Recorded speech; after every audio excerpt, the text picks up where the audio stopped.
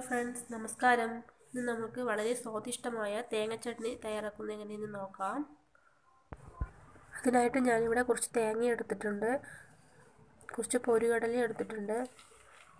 ഒരു ചെറിയ പീസ് ഇഞ്ചി പച്ചമുളക് എടുത്തിട്ടുണ്ട്. ഒരു മൂന്നെണ്ണം. നിങ്ങൾക്ക് എരിവിനനുസരിച്ച് കൂട്ടും കുറയ്ക്കും ചെയ്യാം. ഞാൻ ഇവിടെ കുറച്ച് മല്ലിയില എടുത്തിട്ടുണ്ട്.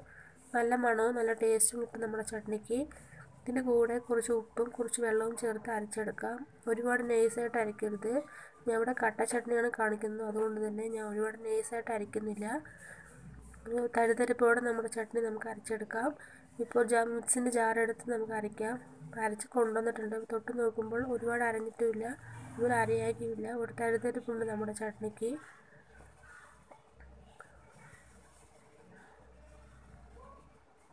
ഇപ്പോൾ ഇതിന് താളിച്ചെടുക്കാം. അതിനായിട്ട് ഞാൻ ഇവിടെ ഒരു പാത്രം വയ്ക്കുന്നുണ്ട്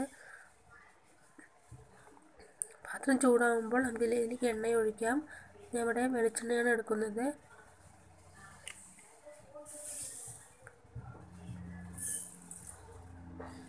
എണ്ണ ചൂടായ ശേഷം കടുകിടാം. കടുക് പൊട്ടിയ ശേഷം കറിവേ വറ്റൽമുളക് ഇടാം. ഇപ്പോൾ കറിവേപ്പില ചേർക്കാം.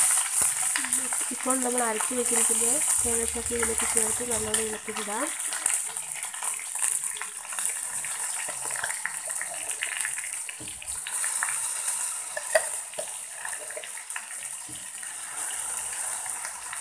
എല്ലാ ചട്നിയും ചേർത്ത് നല്ലോണം ഇളക്കി വിടാം ചട്നി തിളപ്പിക്കരുത്. ലൈറ്റായൊന്ന് ചൂടായാൽ മാത്രം മതി.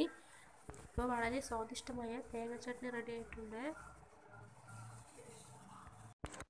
ചട്നി എല്ലാവരും തയ്യാറാക്കി നോക്കണം. ഇഷ്ടപ്പെട്ടെങ്കിൽ ലൈക്ക് ചെയ്യുക സബ്സ്ക്രൈബ് ചെയ്യുക. Thank for watching